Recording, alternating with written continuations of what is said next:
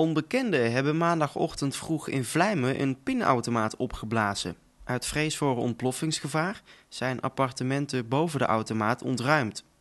Doelwit was een pinautomaat van de ABN AMRO op het plein. Rond kwart voor vier reden de daders met een auto de pui in.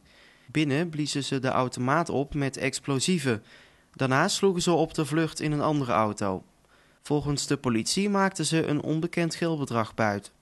Omdat de politie bang was voor meer explosieve pinnen, werd de bank doorzocht. In de tussentijd moesten de bewoners van de appartementen boven de bank hun huis uit. Al snel bleek de kust veilig en kon iedereen terug naar zijn bed.